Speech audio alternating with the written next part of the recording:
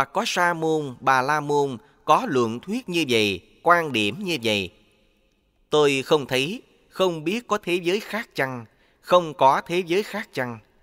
Trong đời có các sa môn, bà la môn bằng thiên nhãn trí, tha tâm trí, có thể thấy những việc xa xôi. Những việc ấy tuy gần người khác, nhưng người khác không thấy. Những người như vậy có thể biết có thế giới khác hay không có thế giới khác. Tôi không biết, không thấy có thế giới khác hay không có thế giới khác. Nếu tôi nói thì đó là nói dối. Vì ghét nói dối, sợ nói dối. Vì vậy, để làm chỗ quy y, làm hoàng đảo, làm mái nhà, làm cứu cánh đạo. Giả sử kia có hỏi, tôi sẽ đáp như vậy. Việc này như vậy, việc này là thật, việc này khác, việc này không khác, việc này không phải khác, không phải không khác. Đó là trường hợp thứ hai. Sa môn, bà la môn nhân đó hỏi khác, đáp khác, thuộc trong bốn trường hợp, chừng ấy không hơn. Hoặc có sa môn, bà la môn có quan điểm như vậy, có luận thuyết như vậy. Tôi không thấy, không biết thiện là gì, bất thiện là gì. Nếu tôi không thấy, không biết mà nói như vậy, đây là thiện, đây là bất thiện, thì do đây tôi sinh ái, từ ái sinh sân nhuế. Có ái, có nhuế, thì có thủ sinh. Tôi vì muốn diệt trừ thủ, nên xuất gia tu hành. Kia do ghét thủ, kinh sợ thủ, để làm chỗ quy y, làm hòn đảo, làm mái nhà, làm cứu cánh đạo, nên giả sử kia có hỏi, tôi sẽ trả lời như vậy. Việc này như vậy, việc này là thật, việc này khác, việc này không khác, việc này không phải khác, không phải không khác. Đó là trường hợp thứ ba. Sa môn, bà la môn, nhân đó hỏi khác, đáp khác, thuộc trong bốn trường hợp, chừng ý không hơn. Hoặc có sa môn, bà la môn, ngu si ám độn, khi có người hỏi, thì tùy theo người hỏi mà trả lời rằng, việc này như vậy, việc này là thật, việc này khác, việc này không khác, việc này không phải khác, không phải không khác. Đó là trường hợp thứ tư, sa môn, bà la môn nhân đó hỏi khác, đáp khác, thuộc trong bốn trường hợp, chừng ấy không hơn. Hoặc có sa môn, bà la môn, y bản kiếp bản kiến, hỏi khác, đáp khác, tất cả thuộc trong bốn trường hợp, chừng ấy không hơn. Duy chỉ Phật mới có thể biết rõ những cơ sở quan điểm này được nắm bắt như vậy, được giữ chặt như vậy, và cũng biết sẽ có báo ứng như vậy. Sở tri của Như Lai vượt qua những thứ ấy, tuy biết nhưng không chấp trước. Do không chấp trước nên được tịch diệt, biết sự tập khởi của thọ, biết sự diệt tận, dị ngọt, sự tai hại và sự xuất yếu của thọ. Do chính quán mà được vô dư giải thoát, vì vậy được gọi là Như Lai. Đó gọi là còn có pháp khác là ánh sáng của đại pháp sâu xa di diệu để cho đệ tử hiền thánh có thể tán thán Như Lai một cách chân thật, bình đẳng. Lại còn có pháp khác là ánh sáng của đại pháp sâu xa di diệu để cho đệ tử hiền thánh có thể tán thán Như Lai một cách chân thật, bình đẳng. Đó là pháp gì? Có các sa môn, bà la môn, y bản kiếp bản kiến, chủ trương rằng không có nguyên nhân mà xuất hiện có thế gian này. Chủ trương ấy thuộc hai trường hợp, y bản kiếp bản kiến, chủ trương vô nhân mà xuất hiện có thế gian này. Thuộc trong hai trường hợp, chừng ý không hơn. Sa môn, bà la môn kia, nhân sự kiện gì, y bản kiếp bản kiến, chủ trương vô nhân mà có, thuộc trong hai trường hợp, chừng ý không hơn. Có hạng chúng sinh vô tưởng, vô tri, khi chúng sinh kia sinh khởi tưởng, tức thì mạng chung, sinh đến thế gian này, rồi dần dần khôn lớn, cạo bỏ râu tóc, bận ba pháp y, xuất gia tu đạo, cho đến chứng nhập tâm định. Bằng với tâm định tĩnh mà biết được gốc đời trước của mình, vị ấy bèn nói như vậy. Tôi vốn không có, nay bỗng nhiên có. Thế gian này vốn không, nay có. Đây là thật, ngoài ra là dối. Đó là trường hợp thứ nhất. Các sa môn bà la môn nhân đó y bản kiếp bản kiến, chủ trương không nhân mà có, thuộc trong hai trường hợp, chừng ý không hơn. Hoặc có sa môn bà la môn trí tuệ nhạy bén, có khả năng quan sát khéo léo. Vì ấy bằng trí tuệ quan sát nhạy bén, bằng trí tuệ biện luận của mình, nói như vậy. Thế gian này hiện hữu, không do nhân, đây là thật, ngoài ra là dối. Đó là trường hợp thứ hai. Các sa môn, bà la môn nhân đó, y bản kiếp bản kiến, chủ trương không nhân mà hiện hữu, mà có thế gian này, thuộc trong hai trường hợp, chừng ấy không hơn. Duy chỉ Phật mới có thể biết rõ những cơ sở quan điểm này được nắm bắt như vậy, được giữ chặt như vậy, và cũng biết sẽ có báo ứng như vậy. Sở tri của Như Lai vượt qua những thứ ấy, tuy biết nhưng không chấp trước. Do không chấp trước nên được tịch diệt. Biết sự tập khởi của thọ, biết sự diệt tận, dị ngọt, sự tai hại và sự xuất yếu của thọ. Do chính quán mà được vô dư giải thoát, vì vậy được gọi là Như Lai. Đó gọi là còn có pháp khác là ánh sáng của đại pháp sâu xa di diệu để cho đệ tử hiền thánh có thể tán thán Như Lai một cách chân thật, bình đẳng. Các sa môn, bà la môn, y bản kiếp bản kiến, với vô số trường hợp khác nhau, mỗi người tùy ý lập thuyết, tất cả được thâu tóm trong 18 trường hợp. Bản kiếp, bản kiến, với vô số trường hợp, tùy ý lập thuyết, thuộc trong 18 trường hợp, chừng ý không hơn. Duy chỉ Phật mới có thể biết rõ những cơ sở quan điểm này được nắm bắt như vậy, được giữ chặt như vậy, và cũng biết sẽ có báo ứng như vậy. Sở tri của Như Lai vượt qua những thứ ấy, tuy biết nhưng không chấp trước. Do không chấp trước nên được tịch diệt. Biết sự tập khởi của thọ, biết sự diệt tận, dị ngọt, sự tai hại và sự xuất yếu của thọ. Do chính quán mà được vô dư giải thoát, vì vậy được gọi là Như Lai. Đó gọi là còn có pháp khác là ánh sáng của đại pháp sâu xa di diệu để cho đệ tử hiền thánh có thể tán thán Như Lai một cách chân thật, bình đẳng. Lại có pháp khác là ánh sáng của đại pháp di diệu thâm sâu. Đó là pháp gì? Có các sa môn, bà la môn, y mà kiếp, mạc kiến, với vô số trường hợp, tùy ý lập thuyết, gồm 44 trường hợp, chừng ấy không hơn. Các sa môn, bà la môn kia nhân sự kiện gì, y mạc kiếp mạc kiến, với vô số trường hợp, tùy lý lập thuyết, thuộc trong 44 trường hợp, chừng ấy không hơn. Có các sa môn, bà la môn, y mạc kiếp mạc kiến, sinh hữu tưởng luận, nói rằng thế gian có tưởng, tất cả thuộc trong 16 trường hợp.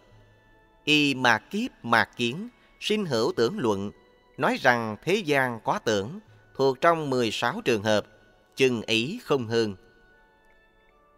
Các sa môn bà la môn kia nhân sự kiện gì, y mà kiếp mà kiến, sinh tưởng luận, nói rằng thế gian có tưởng, thuộc trong 16 trường hợp, chừng ý không hơn. Có các sa môn bà la môn có luận thuyết như vậy, có quan điểm như vậy. Ta sau đời này sinh có tưởng có sắc, đây là thật, ngoài ra là dối. Đó là trường hợp thứ nhất. Các sa môn, bà la môn, nhân đó, y mà kiếp mà kiến, sinh hữu tưởng luận. Nói thế gian có tưởng, thuộc trong 16 luận chấp, chừng ấy không hơn. Có người nói, ta sau đời này, sinh không sắc, có tưởng. Đây là thật, ngoài ra là dối. Có người nói, ta sau đời này, sinh vừa có sắc, vừa không sắc, có tưởng. Đây là thật, ngoài ra là dối. Có người nói, ta sau đời này, sinh không phải có sắc, không phải không sắc, có tưởng. Đây là thật, ngoài ra là dối. Có người nói, ta sau đời này, sinh có biên, có tưởng. Đây là thật, ngoài ra là dối. Có người nói, ta sau đời này sinh không biên, có tưởng, đây là thật, ngoài ra là dối. Có người nói, ta sau đời này sinh vừa có biên vừa không biên, có tưởng. Đây là thật, ngoài ra là dối. Có người nói, ta sau đời này sinh không phải có biên, cũng không phải không biên, có tưởng. Đây là thật, ngoài ra là dối. Có người nói, ta sau đời này sinh mà thuần có lạc, có tưởng. Đây là thật, ngoài ra là dối. Có người nói, bản ngã, sau đời này sinh mà thuần có khổ, có tưởng. Đây là thật, ngoài ra là dối. Có người nói, bản ngã, sau đời này sinh vừa có khổ, vừa có lạc, có tưởng. Đây là thật, ngoài ra là dối. Có người nói, ta sau đời này sinh không phải khổ, không phải lạc, có tưởng. Đây là thật, ngoài ra là dối. Có người nói, ta sau đời này sinh có một tưởng. Đây là thật, ngoài ra là dối. Có người nói, ta sau đời này sinh có đa biệt tưởng. Đây là thật, ngoài ra là dối.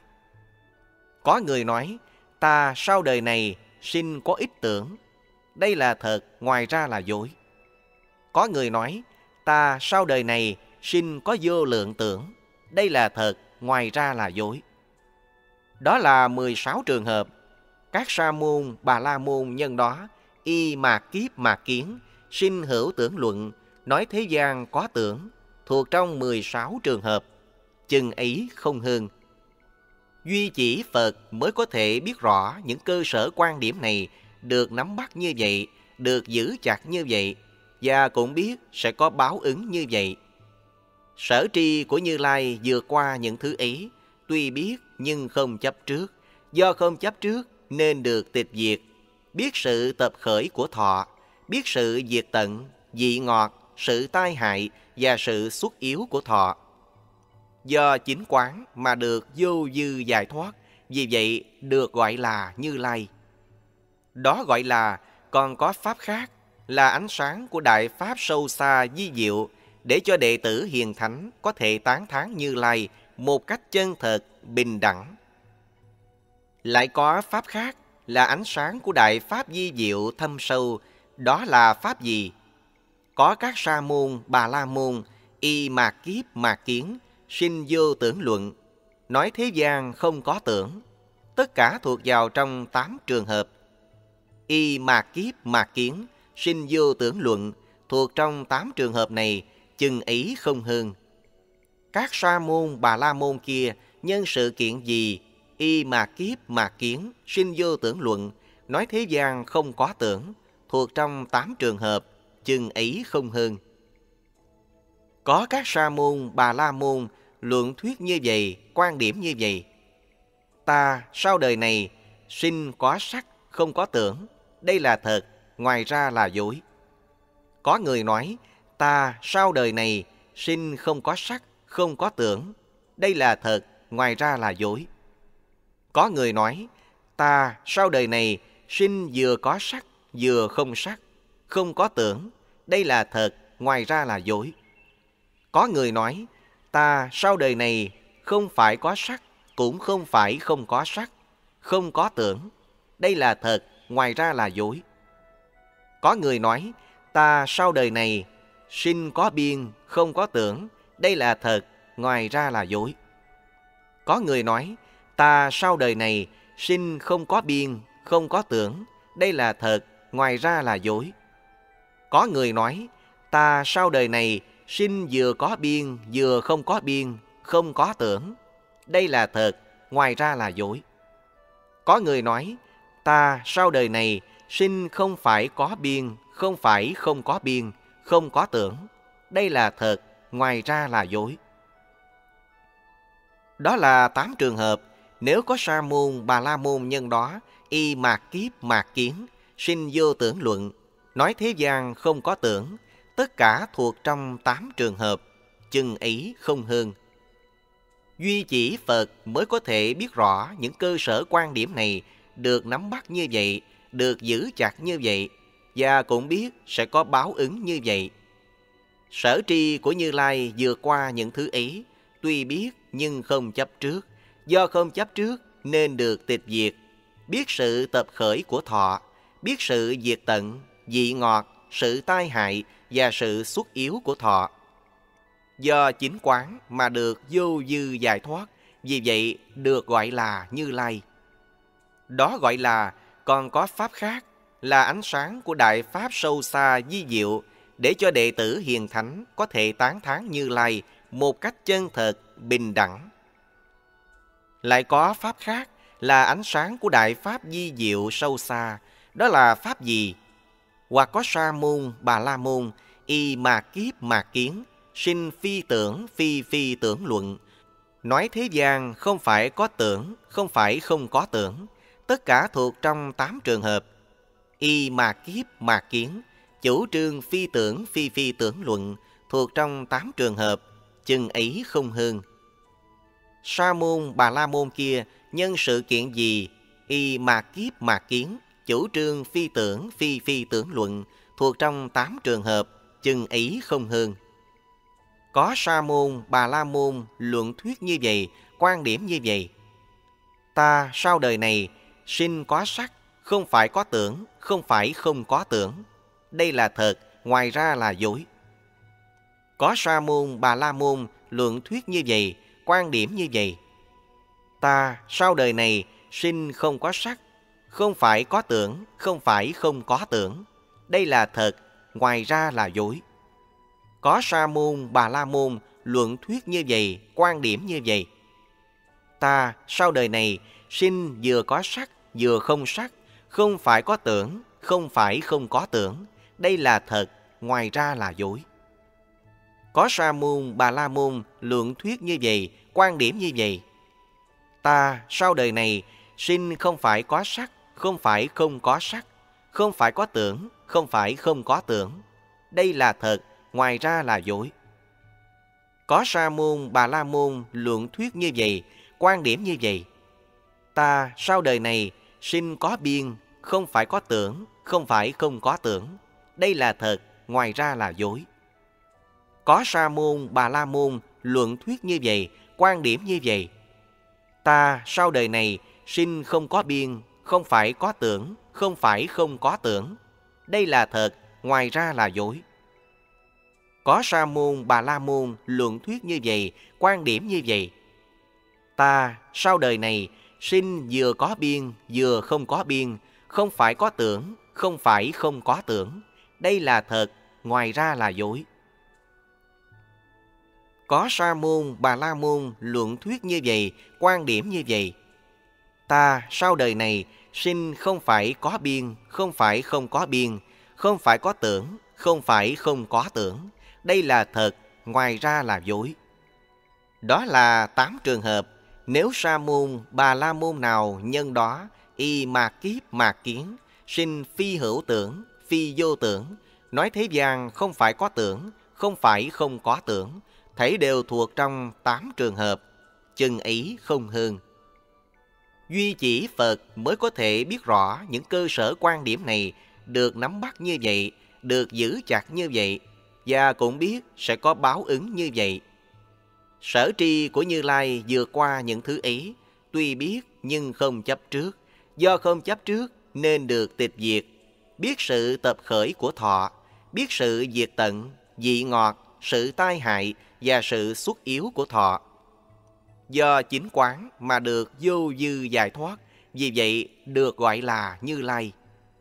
Đó gọi là còn có pháp khác là ánh sáng của đại pháp sâu xa di diệu để cho đệ tử hiền thánh có thể tán thán Như Lai một cách chân thật, bình đẳng.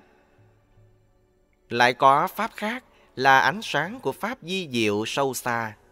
Pháp đó là gì? Có các sa môn, bà la môn, y mà kiếp mà kiến, khởi lên đoạn diệt luận. Nói rằng chúng sinh hoàn toàn đoạn diệt, tất cả thuộc trong bảy trường hợp.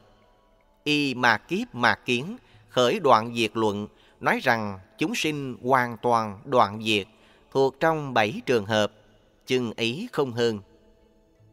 Sa môn, bà la môn kia, nhân sự kiện gì, y mà kiếp mà kiến, khởi đoạn diệt luận, nói chúng sinh hoàn toàn đoạn diệt, thuộc trong bảy trường hợp, chừng ấy không hơn. Có Sa môn, Bà La môn luận thuyết như vậy, quan điểm như vậy. Ta với thân bốn đại, sáu xứ, do cha mẹ sinh, được nuôi nấng bằng sữa, trưởng thành nhờ áo cơm, nhờ vuốt ve, bông ẩm, nhưng là vô thường, chắc chắn đi đến chỗ quỷ diệt. Cho đến mức ấy được gọi là đoạn diệt. Đó là trường hợp thứ nhất. Hoặc có sa môn, bà la môn nói như vậy, cái ta đây không thể gọi là đoạn diệt. Cái ta dục giới thiên mới đoạn diệt hoàn toàn, cho đến mức ấy mới là đoạn diệt. Đó là trường hợp thứ hai. Hoặc có sa môn, bà la môn nói như vậy, đấy không phải là đoạn diệt. Ta sắc giới, có thân quá sinh, các căn đầy đủ, đoạn diệt hoàn toàn không còn gì. Chừng mức ấy mới gọi là đoạn diệt. Hoặc có người nói, đấy không phải là đoạn diệt, ta vô sắc giới, ở không vô biên xứ mới đoạn diệt. Hoặc có người nói, đấy không phải là đoạn diệt, ta vô sắc, thuộc thức vô biên xứ mới đoạn diệt. Hoặc có người nói, đấy không phải đoạn diệt, ta vô sắc, thuộc vô sở hữu xứ mới đoạn diệt. Hoặc có người nói, đấy không phải là đoạn diệt, ta vô sắc, ở phi tưởng, phi tưởng xứ mới đoạn diệt. Đó là đoạn diệt thứ bảy.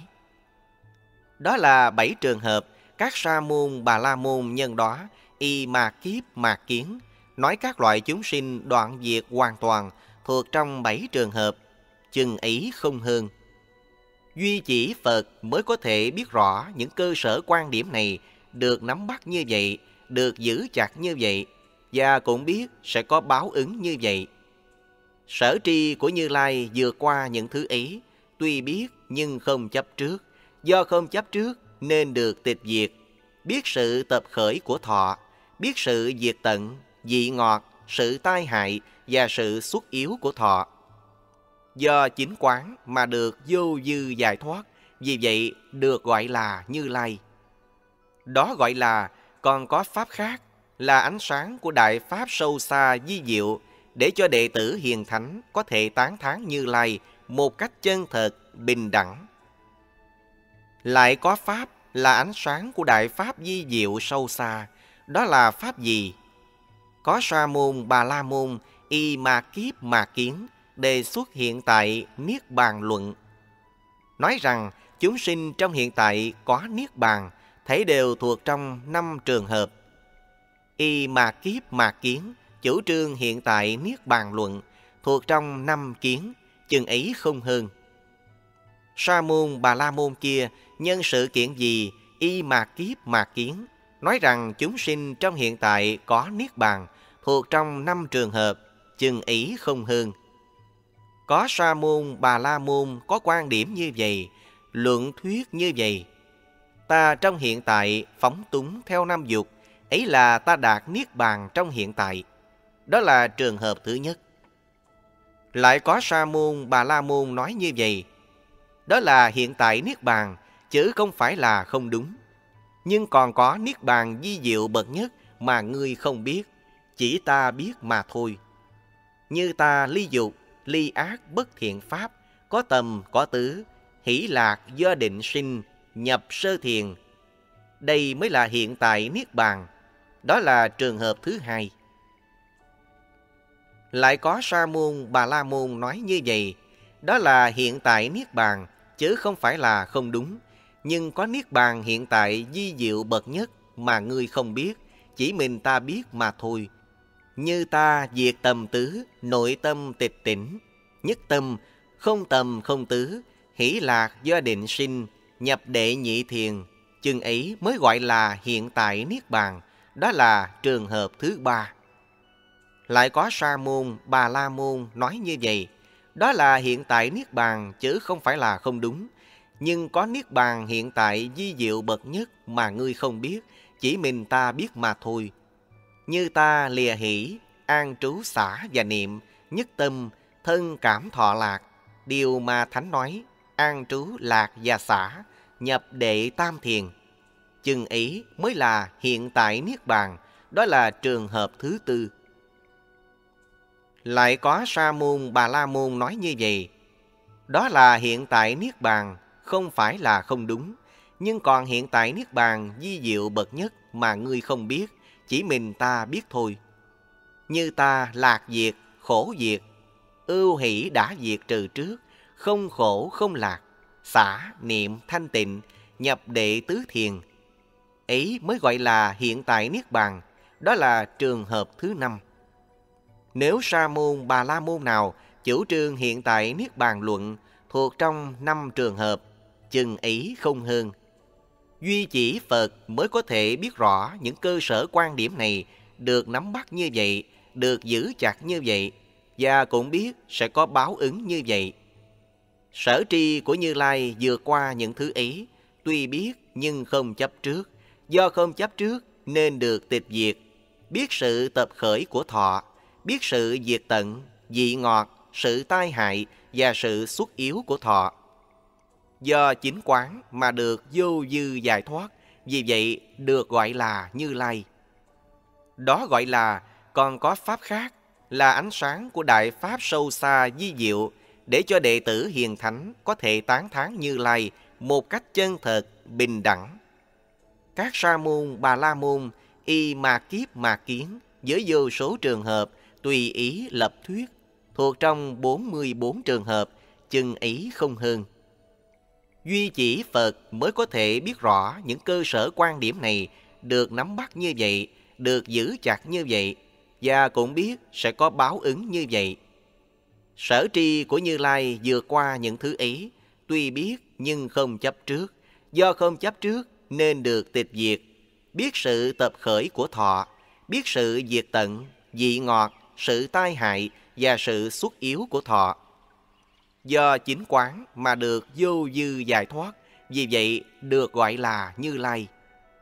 Đó gọi là, còn có pháp khác, là ánh sáng của đại pháp sâu xa di diệu, để cho đệ tử hiền thánh có thể tán thán như lai một cách chân thật, bình đẳng. Các sa môn, bà la môn, y bản kiếp, bản kiến mạc kiếp mạc kiến với vô số trường hợp, tùy ý lập thuyết tất cả thuộc trong 62 trường hợp. Y bản kiếp bản kiến mà kiếp mà kiến, với vô số trường hợp, tùy ý lập thuyết, tất cả thuộc trong 62 trường hợp, chừng ấy không hơn. Duy chỉ phật mới có thể biết rõ những cơ sở quan điểm này, được nắm bắt như vậy, được giữ chặt như vậy, và cũng biết sẽ có báo ứng như vậy. Sở tri của như lai vượt qua những thứ ấy tuy biết nhưng không chấp trước. Do không chấp trước nên được tịch diệt. Biết sự tập khởi của thọ, biết sự diệt tận, dị ngọt, sự tai hại và sự xuất yếu của thọ.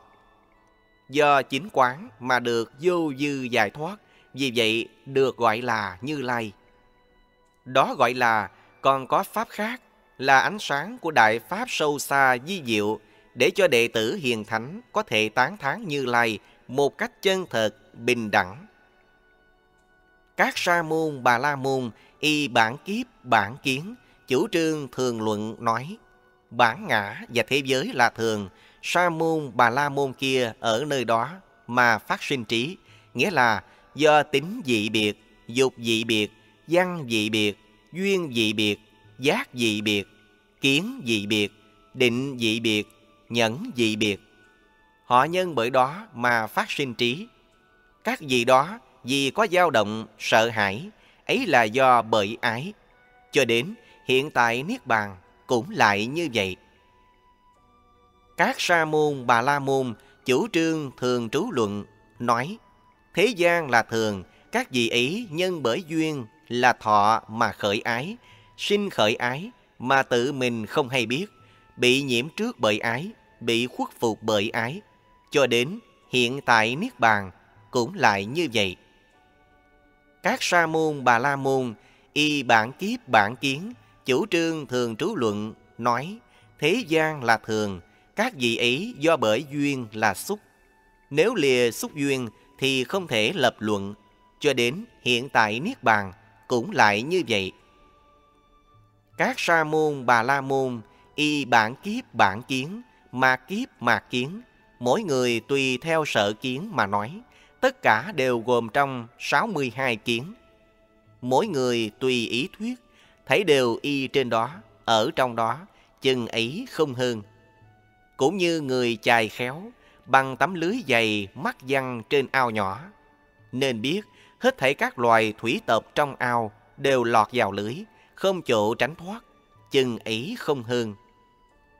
Cũng vậy, các sa môn, bà la môn, y bản kiếp, bản kiến, ma kiếp, ma kiến, với nhiều thuyết khác nhau, tất cả thuộc vào 62 kiến, chừng ý không hơn. Nếu tỳ kheo, đối với sự tập khởi của sáu xúc, sự diệt tận, dị ngọt, tai họa và sự xuất ly mà biết rõ như thật, tỳ kheo ấy là người tối thắng, vượt ngoài các kiến ý Như Lai tự biết, sự sinh đã dứt, sở dĩ có thân là để phước độ chư thiên nhân loại. Nếu Như Lai không có thân, người đời không chỗ nương cậy, cũng như cây đa la bị chặt ngọn, không còn sống trở lại nữa. Phật cũng vậy, đã đoạn sinh tử, vĩnh viễn không còn tái sinh. Khi Phật nói Pháp này, đại thiên thế giới ba lần chuyển mình với sáu cách rung động. Lúc ấy, A Nan đứng sau Phật đang cầm quạt hầu Phật, liền trịch áo, bày vai phải, quỳ gối chắp tay bạch Phật rằng Pháp này rất sâu xa, nên gọi tên là gì, nên phụng trì như thế nào? Phật bảo A Nan, nên đặt kinh này là nghĩa động, pháp động, kiến động, ma động, phạm động. Bấy giờ A Nan sau khi